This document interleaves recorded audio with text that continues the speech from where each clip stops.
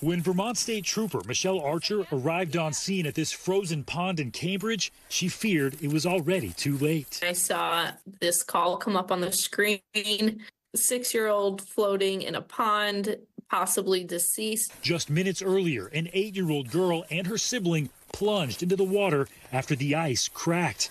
The 80 year old property owner able to save the younger child who was near the shore, but the eight year old unreachable near the center of the pond. I don't know if it's instinct or training, but, um, you know, something took over.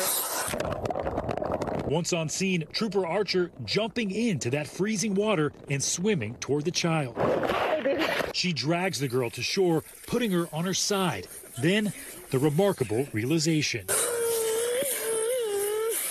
The little girl was still alive. Well, the first sigh of relief came when I pulled her out of the water and I heard those kind of audible noises.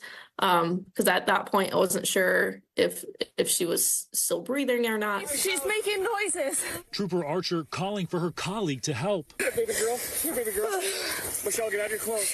Trooper Keith Cody making sure the eight-year-old was okay and taking her to an ambulance on site. We cover a widespread area, and for whatever reason, the both of us were three minutes away from this pond where this little girl needed help. The child taken to a hospital in Burlington with injuries that at first were thought to be life threatening.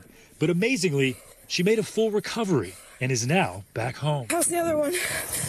She's cold. The Vermont State Police Department now recommending the two troopers and the 80 year old property owner for the agency's life saving award. We come across calls that stick with us, um, you know, for a while, if not for the length of our careers and beyond.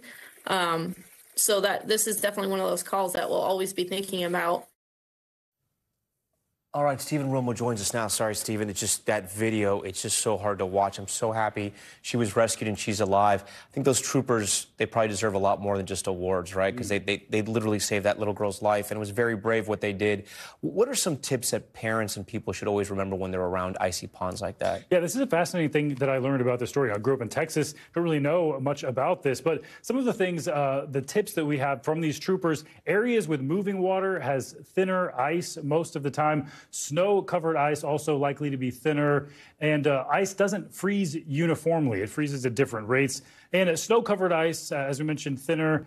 Ice uh, with rocks, logs, and sticks, I didn't know about this one at all, is more likely to be weaker. And shady areas also likely to have thinner ice. Some important tips there. But the thing that I'm left with is the trooper that we talked to saying that it's really not worth it. The risk versus reward here for playing on ice, especially letting kids play on ice, it's just not worth it. It's it's never going to be something that's a good. I, I agree with that. And again, that trooper just jumping into that icy pond, not knowing what she was going to find. Um, Thanks for watching. Stay updated about breaking news and top stories on the NBC News app or follow us on social media.